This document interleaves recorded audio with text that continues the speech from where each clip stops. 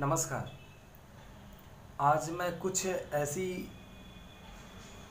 दुख भरी थोड़ी सी एक स्टोरी बताना चाह रहा हूँ और मुझे लगता है कि अगर आप समझदार हैं तो समझ जाएँगे, पत्थर दिल वाले हैं तो नहीं समझेंगे। मैंने कई ऐसे वीडियोस बनाए हैं और बनाने के बावजूद भी लोग फ्रॉड के शिकार हो रहे हैं और गलत राह पर चल रहे हैं।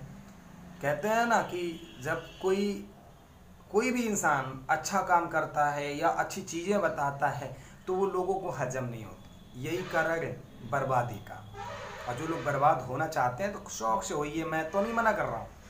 लेकिन अगर कुछ समझदार इंसान है ना, क्योंकि हमें भी इससे लगाव है संगीत की दुनिया से, और हम आपके सामने अगर झूठ बोलेंगे या हम आपको बेवकूफ़ बनाएँगे तो ऊपर वाला माफ़ नहीं करेगा। पहली बात, क्योंकि हम ऊपर वाले पे भरोसा रखते मैंने कई ऐसे वीडियोस बनाए और उसमें मैंने कई बार कहा है कि चाहे स्टूडियो हो, चाहे इंस्टीट्यूट हो, सिर्फ़ वहाँ पर लोगों से इनकम की जाती है, बिज़नेस चलाया जाता है और फिर भी लोग वहाँ पर जाते हैं। आखिर क्यों?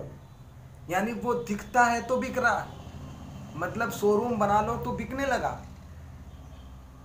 बहुत शर्म की बात है कि आप लोग इस चीज़ को समझ नहीं रहे हैं। मेरे पास ऐसे कई केसेस आते हैं, ऐसी कई पीड़ाएँ आती मेरे पास, आज मेरे पास खुद फ़ोन आए हैं, आज भी आए हैं और इसके पहले भी आ चुके हैं, जो लोग खुद कहते हैं कि, सर, मैं तीन तीन साल से सीख रहा हूँ। और टीचर हमसे सिर्फ़ इतना कहते हैं कि, जब स्वर ज्ञान होगा तो अपने आप आ जाएगा। अब मुझे बताइए, ऐसा कौन सा टीचर है? ऐसा कौन सा टीचर है? वो मेरे से थोड़ा मिलके देखे कि स्वर ज्ञान हो जाएगा तो आ जाएगा। तीन साल क्या झक मरवाते रहे अभी तक? तीन साल में जो तुमने पैसा लिया है, तीन साल का मतलब समझ रहे हो? तीन साल का मतलब है कि वन थाउज़ेंड भी अगर आप पर मंथ ले रहे हैं तो बारह दूनी चौबीस, बारह छत्तीस छत्तीस हज़ार छत्तीस हज़ार रुपये अगर आपने लिया है तो किस लिए लिया है?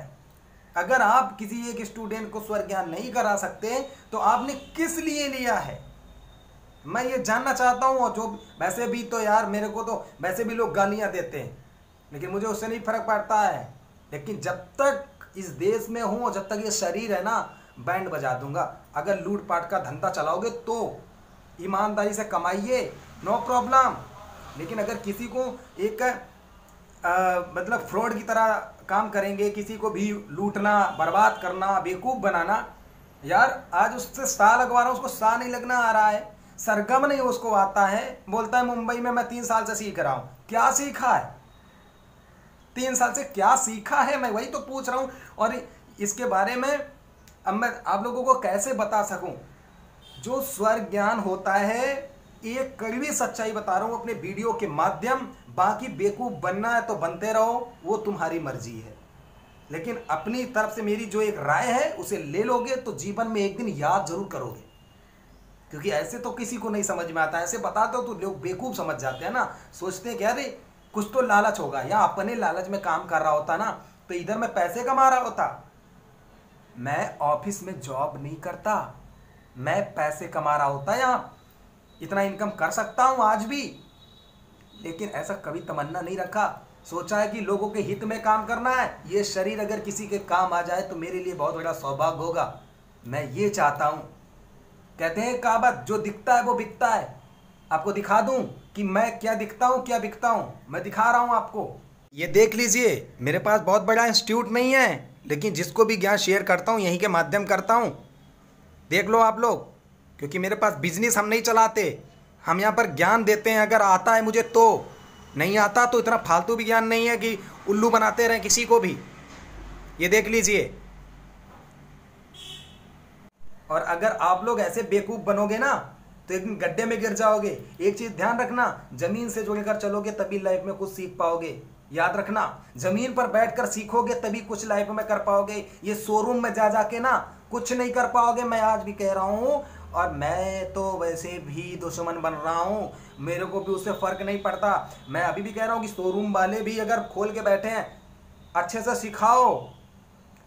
जो भी आता है, अच्छे से बताओ। मैं ये नहीं कहता कि मैं बहुत बड़ा गुरु हूँ, बहुत बड़ा टीचर हूँ। No no no no no no no मैं सबकी रिस्पेक्ट करता हूँ। लेकिन जो भी माता रानी ने दिया है, उसे ईमानदारी पूर्वक बताता हूँ। जो सच्चाई है, झूठ नहीं बताता। झूठ बता रहा होता ना तो आज हमारे जो भाई हमारे चैनल पर जुड़े हैं, जो हमारे सब्सक्राइबर जो भी हैं, मेरे पक्के सब्सक्राइबर हमारे भाई हैं, और जिन्होंने मेरे चैनल की सदस्यता ली है, कुछ ज़रूर सोच कर ली होगी। और आगे भी लेते रहेंगे। क्योंकि हमने कभी भी किसी का बुरा नहीं सोचा और ना आगे सोचना चाहते हैं।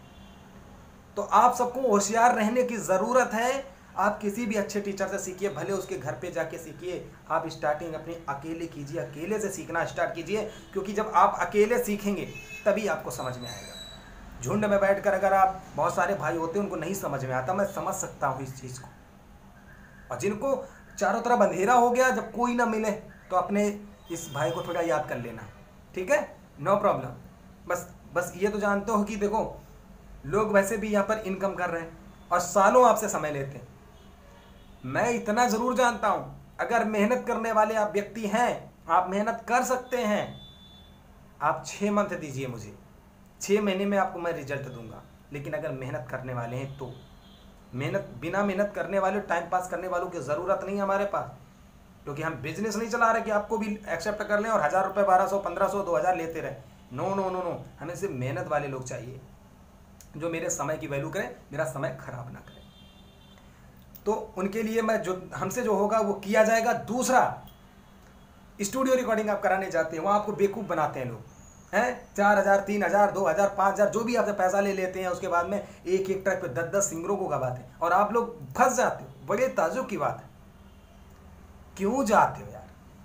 अब तो कम से कम जो भी हमारे चैनल पे कम से कम कोई भी काम करो तो कम से कम एक बार कमेंट कर दो। हम आपको राय अच्छी ही देंगे, बुरी नहीं आपके भविष्य के लिए।